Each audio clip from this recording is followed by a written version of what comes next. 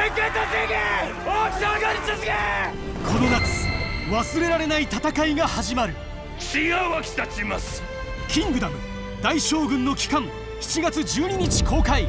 最新作を見る前に物語の始まりをプレイバック。伝説はここから始まった。映画「キングダム」一度奴隷になったら大人になっても奴隷。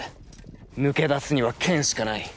俺はいずれ天下の大将軍になる男だ。時は紀元前中国春秋戦国時代。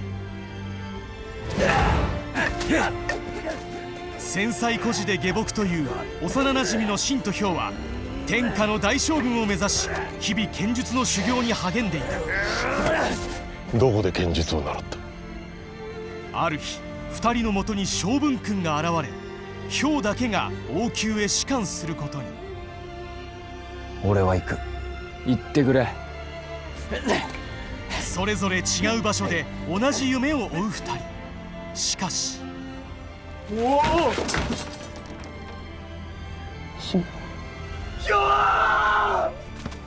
俺を天下に連れてってくれ。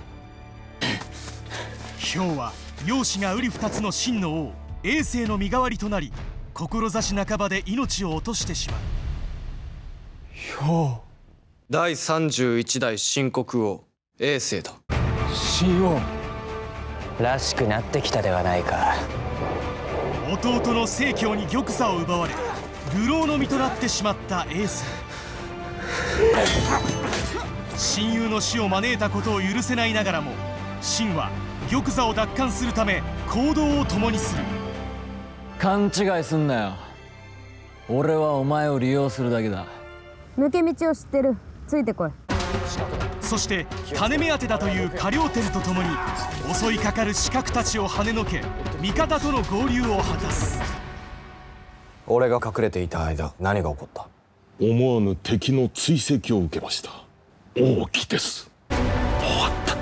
そう思ったその時氷が兵殿は自らがおとりとなり一人闇に向かって走り去った。なんで一人で？我々を救うためだ。氷の最後を知った秦は衛星の王都奪還に協力することを決意。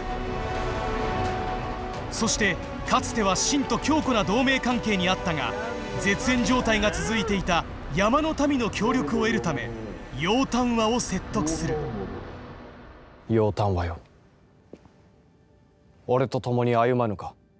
誰も歩いたことのない修羅の道だがその先には光が待っているはずだ。俺は今は何の力もない。だが目指す道は虚しいお前事ではない。周囲の山々からも兵を集めよ。戦の準備だ。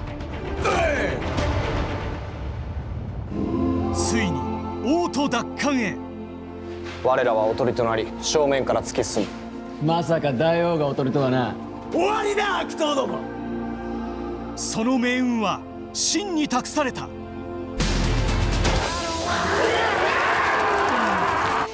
衛星自らおとりとなりその間に秦たちは王宮にいる正教の首を狙う。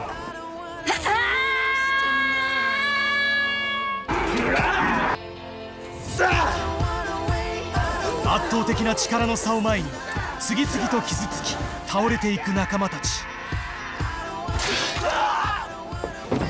勝利は目前だ。別動隊は必ず狩猟二人を撃つ。耐えしのげば俺たちの勝ちだ。夢があるから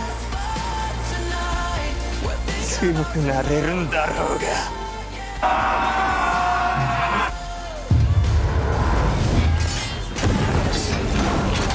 衛星殿あなた様は一体どのような王を目指しているのですか？これまで500年の騒乱が続いたならばあと500年続くやもしれん。俺が剣を取るのはこれから500年の騒乱の犠牲をなくすためだ。俺は中華を統一する最初の王となる。秦は天下の大将軍を目指し衛星と共に中華統一を叶えることができるのか？